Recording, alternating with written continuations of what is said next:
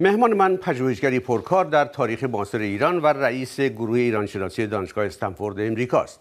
تا به حال چندین کتاب تحقیقی از او چاپ رسیده. از جمله کتاب پرفروش و پرسر صدای معمای هویدا و این اواخر کتاب مفصل تحقیقی نگاهی به شاه به دو زبان فارسی و انگلیسی. عباس میلانی چند سال قبل هم مهمان من در این برنامه بود. شاید مهمترین کاری او در فاصله آن گفتگو و امروز کتاب نگاهی به شاه است که می‌گوید ثمره 15 سال تحقیق و جمعآوری 60 هزار صفحه سند طبقه شده از امریکا، بریتانیا، فرانسه و آلمان. 14 جلد سخنرانی های شاه و هزاران صفحه تاریخ شفاهی است.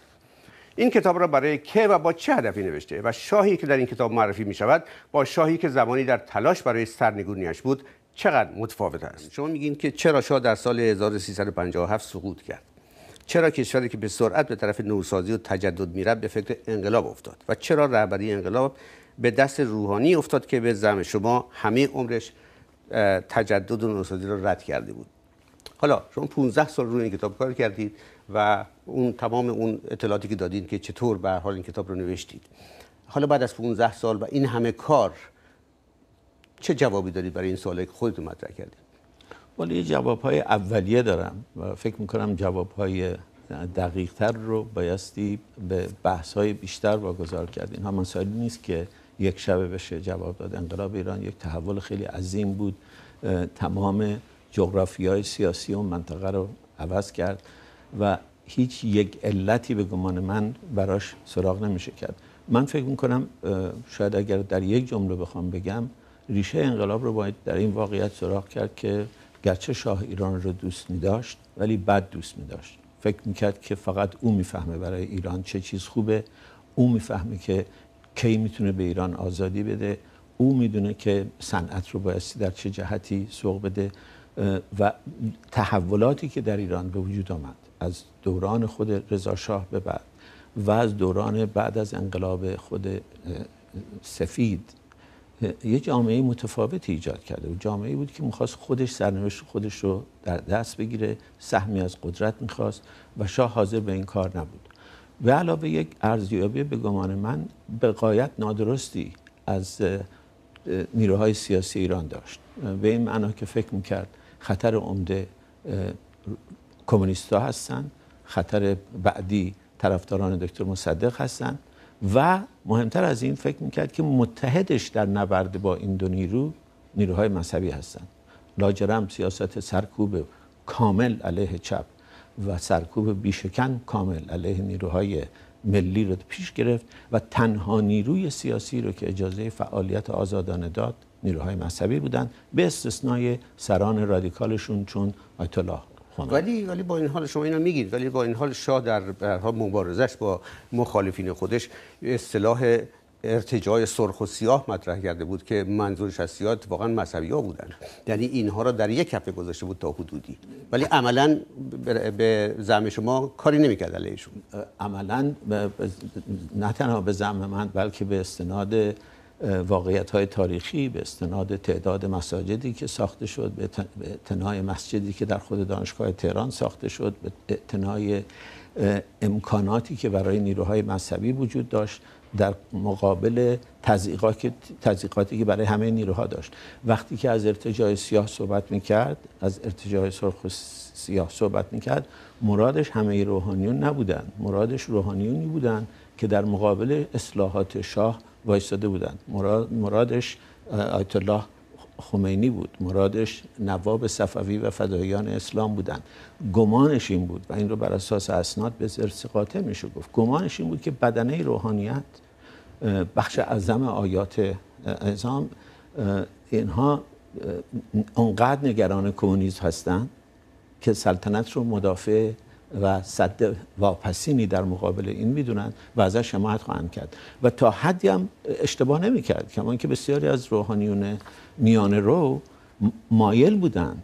الله خویی در نجف چند هفته قبل از انقلاب با ملکه اون زمان دیدار کرد انگشتر به ملکه داد. ببینی آیت الله شریعت نداری در پیام هایی که میفرستاد می‌گفت. ولی اون شبکه شگفتانگیز پیچیده ای که نیروهای مذهبی ایجاد کردند و نه نیروهای چپ بهش توجه داشتند نه ساواک بهش توجه داشت نه سازمان های اطلاعاتی غربی بهش توجه داشتند اون نیرو در آستان انقلاب تخت بند رادیکال ترین نیرو شد. شما فکر می‌کنین که علت این که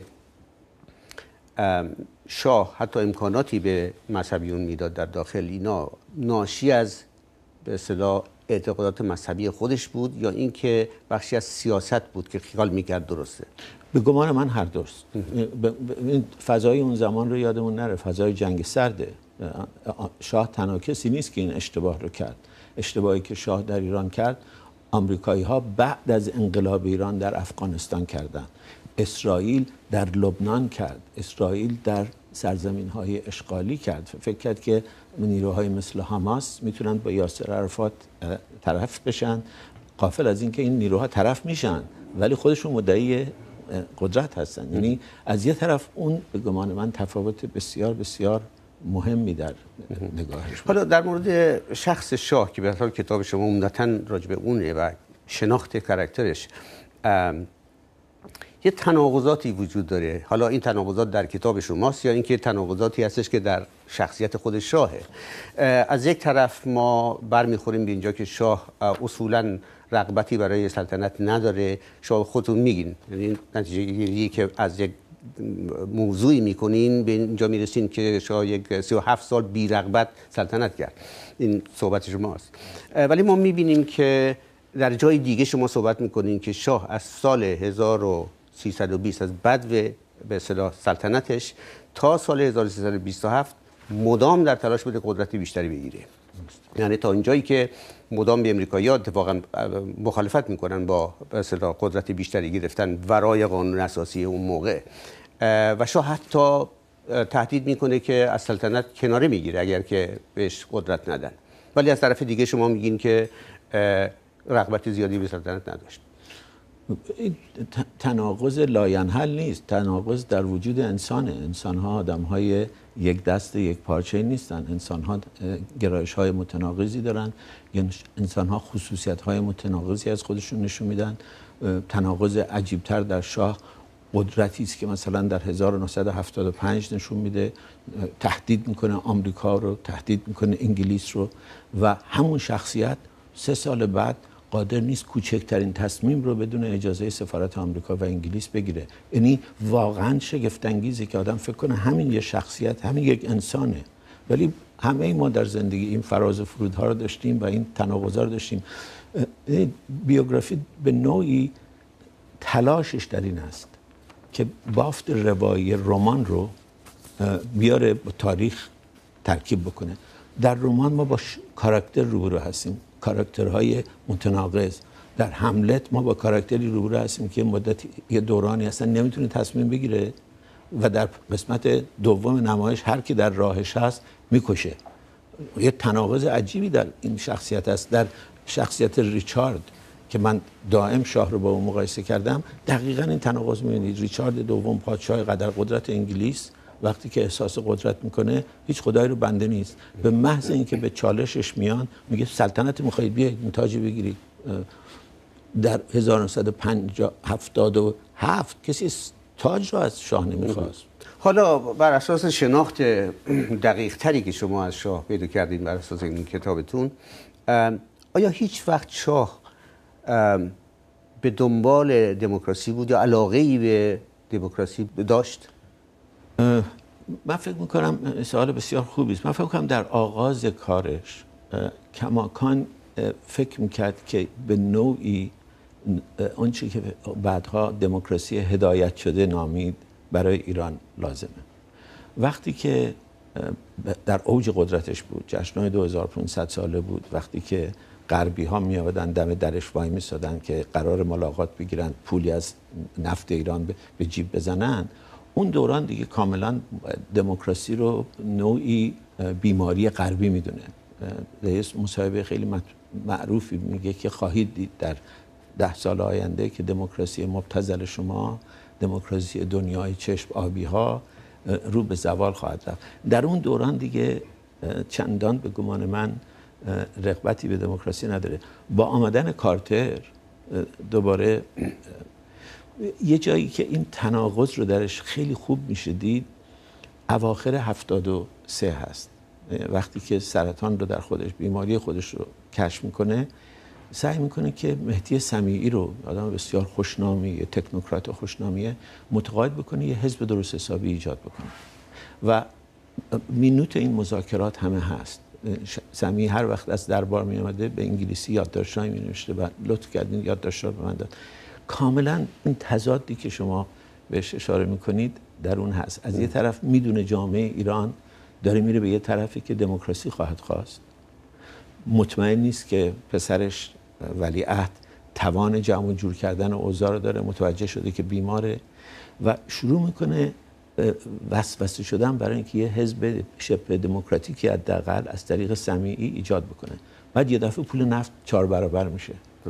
و گمان می‌کنه که از طریق پول دیگه احتیاجی به حزب نیست. دیگه احتیاجی به حزب نیست. ولی با این حال قبل از اون مثلا زمانی که زیر فشار کندی بود برای اصلاحات در داخل ایران و بعدش مسئله اصلاحات ارزی و انقلاب شاه ملت به وجود اومد که این رو به حال در 4 بهمن 1341 اعلام کرد و رفراندوم گذاشت. قبلش در دیما اعلام کرده بود که همچون چیزی در جریانه. ایده اصلاحات ارزی واقعا از کجا اومد؟ آیا عین همون دیکته شد به شاه از طرف امریکایی‌ها نه. من فکر کنم این دوباره این یه گمان کاملا رایجی بود خود منم داشتم. وقتی که به قول شما در تلاش برای برانداختن شاه بودیم این گمان که این به دستور آمریکایی ها بود خیلی گمان رایجی است. آمریکایی ها بدون شک در دوران کندی یعنی در واقع در آخر دوران آیزنهاور و دوران آغاز دوران کندی به نتیجه میسن که انقلاب در ایران قریب وقوعه اسناد واقعا شگفت انگیزه میگن از ایران در ایران انقلاب زودتر از ویتنام ممکنه بیفته. اینقدر نگران اوضاع بودن. و همین خاطر شروع کنن فشار آوردن برای یک سلسله اصلاحات از جمله اصلاحات ارزی ولی شاه از زمانی که سر کار میاد شروع می‌کنه به صحبت کردن در مورد اینکه ما احتیاجی به یک نوع اصلاحات ارزی داریم. یه نوع انقلاب از بالا داریم برای اینکه انقلاب از پایین رو بتونیم مهار بکنیم. قرار بود اون 2500 روستایی که رضا شاه اغلب به زور از دیگران گرفته بود بخشی از توافقی که با انگلیسا کرد برای اینکه بیاد سر کار در 1941 بود که این زمین ها رو پس بدن دیگه. ولی اکثرش رو پس ندادن. بعد از مدتی شاه شروع کرد زمزمه کردن که بعضی از اینها رو بده به روستان. حتی در دوران مصدق شروع می‌کنه توضیح بخشی از اینا رو که مصدق میگه شما حق ندارید اینا رو توضیح بکنید. باید بدید به دولت دولت اینا رو توضیح بکنه. یعنی هم فشار آمریکایی ها بود در 1958 تا 61 هم این تصور در خود شاه هم بود و بعد فشارهایی که از طرف نیروهای چپ نیروهای سوسیال دموکراتیک نیروهای جبهه ملی برای نوعی اصلاحات وجود داشت اونها هم نباید بهش بی بود. یعنی به روایتی اول بار که صحبت از اصلاحات ارزی من دیدم در یک متن سیاسی اعلامیه های سجزیاست در اولین کودتایی که با رضاخان می‌کنه. میگه باید ایران احتیاج به یک نوع اصلاحات ارزی داره. این فودال ها که انگل هستن باید از بین برن. یعنی ایده یک نوع اصلاحات ارزی در از قدیم در ایران وجود داشت. منتها زبانش شاه انتخاب کرد برای اون موقع سال 41 حتی قبل از سجزیان به هر حال حزب کمونیست ایران نیروهای مثل حیدر مغلو اینا کاملا در مورد اینکه نظام فودالی رو باید برانداخت بله اونا البته خب اونا مسئله قدرت نبودن یعنی امکان اصلاحات نداشتن بله. مگر اینکه قدرت دست بگیرن که نگرفتن هیچ وقت.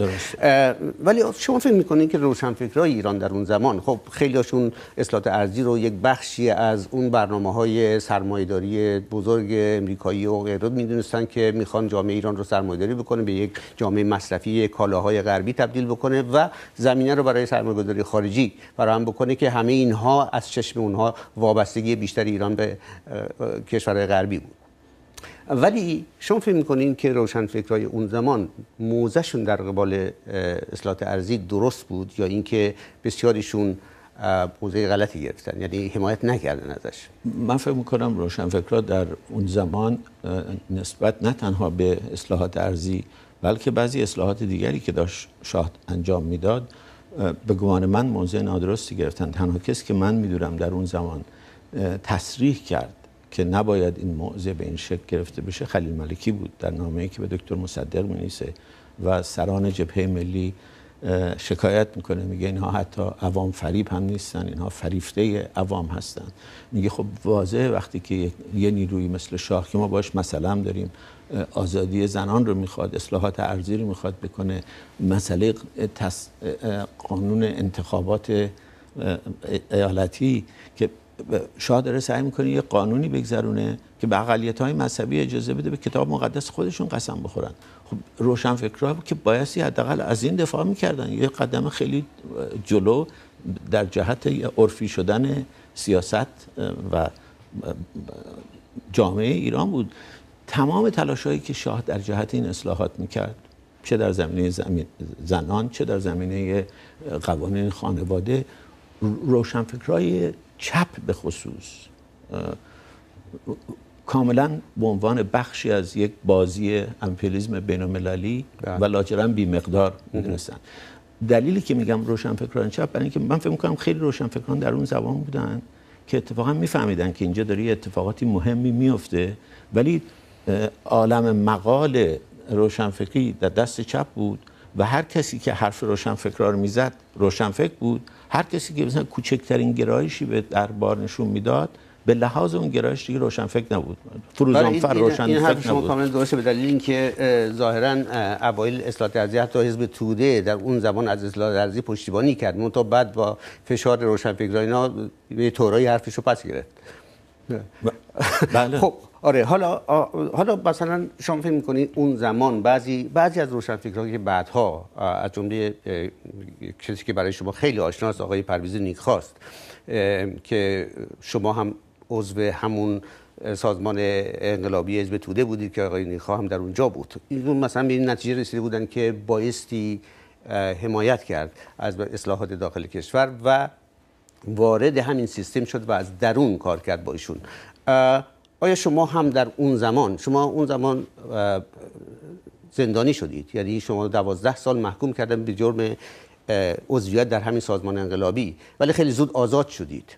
آیا این آزادی شما به دلیل این بود که نظرتون شبیه نظر آقای نیکخواه شده بود؟ نه اصلا نظر نیکخواه کاملا متفاوت بود. من فکر کنم نظر نیکخواه درست بود اتفاقا ولی من درایت نیکخواه رو نداشتم. آزادی من به خاطر بود که حقوق بشر کارتر اومد و من جزو موج اول زندانیایی بودم که آزاد شدم بعد از یک سال. نیکخواه البته چهار سال از پنج سال حبسش رو کشید و در زندان به این نتیجه رسید که بایستی جایی که نیکخواه شاه در مورد نیکخواه و سواک در مورد نیکخواه اشتباه کرد به گمان من این بود که به جای اینکه بیان تبدیلش بکنن به نیکخواهی که ابزار تبلیغات رژیمه و میاد در مصاحبه مطبوعاتی در تلویزیون شرکت می‌کنه به روایتی در زندان میره با بعضی از زندانی ها صحبت می‌کنه باید میذاشتم میامد حرفش رو آزادانه می‌زد و اپوزیسیون هم باید این جرأت رو میداشت که باش بحث می‌کرد. من همین چند سال پیش خبردار شدم. که نیکخوا در اون زمانی که آزاد میشه نامه می‌نویسه به سران کنفدراسیون. میگه شما همه می‌دونم به من میگید که من واداده هستم و فلان. ولی شما هر جا بگید من حاضرم بیام با هر کدومتون بشینیم بحث بکنیم یه بحث آزاد بذاریم. ببینیم شما حق میگید یا من. اصلا وجود این نامه رسیدن این نامه به همون تشکیلات سازمان انقلابی به اطلاع هیچ کسی جز اون دو سه نفری که در رأس بودن و نامه رو می‌دونستن اطلاع داده نشد. یعنی هم اونها تب... هم رژیم شاه توان اینو نداشت که بفهمه که اگر نیکخواه بیاد مثلا بره در دانشگاه بذارن همون کاری که قبلا می‌کرده بکنه به جای اینکه تبلیغات چی رژیمش بکنن. موثرتره. یعنی شاه این ترس رو داشت از اینکه این در, در مجموع آقای مینانی و وقت تقریبا تموم شده در مجموع شما فکر می‌کنین که اصولا بعد از اصلاحات ارزی و تحولاتی که در ایران صورت می گرفت موضع روشنفکرها باز در حمایت از اون تحولات و اصلاحات می بود. باید حتما و اشتباه کردن که نکردن بایستی از اون اصلاحات به طور مشروط دفاع می‌کردن به نظر من. نه اینکه تسلیم اون اصلاحات می‌شدن. شما می‌تونید یه اصلاحات رو به عنوان یه گام جلو به تاریخ ازش دفاع بکنید ولی در این حال کاستی هاش هم بگید. شاه داشت جامعه ایران رو به یه طرف خیلی تازه ای می برد نکات مثبت فراوانی داشت ولی نکات ایراد قابل ایراد هم داشت. قدرت رو در دست خودش منحصر کرده بود. خلاف قانون عمل می‌کرد. حزب رستاخیز خلاف بود. همه اینها اگر روشنفکر وارد این بحث می شدن و اگر شاه میذاشت روشن فکر وارد این بحث بشن چه بسا که ایران متفاوت دقیقاً بخشش همین بود که شاه زیاد هم تمایلی نداشت که روشن فکر رو شریک کنه توی این مسائل اینا. وقتی تموم شده آقای میلانی. فقط یک سوال دیگه می‌کنم که خیلی کوتاه به من جواب بدید خیلی ممنون میشم. و اون اینه که شما یک زمانی می‌خواستین شاه رو سرنگون بکنین یعنی توی تشکیلاتی که بودین و به شدت مخالف بودین. حالا 15 سال وقت صرف کردین کتاب نگاهی به شاه نوشتید و تحقیقات خیلی مفصلی بیش از هر کس دیگه نسبت به شاه کردید. حالا شاهی که الان شما معرفی کردین تو این کتابتون از دید خودتون چه تفاوتی داره با اون شاهی که قبلا میشناختیدش؟ شاهی که من قبلا به عنوان اپوزیسیون میشناختم یک موجود مقوایی بود یک آدم یک بودی بود یک کاراکتری بود از افسانه های کودکانه که درش یا دیو هستن یا فرشته شاه دیو و افسانه ما بود. شاه فعلی یک کاراکتر تاریخی است. دستاوردهای بسیار مهمی داره ضعف‌های بسیار اساسی داره و پیچیدگی ها و سایه روشن ها داره. انسان نه یک مقوای ایدولوژیک آقای عباس میلانی خیلی متشکرم شرکتتون در برنامه.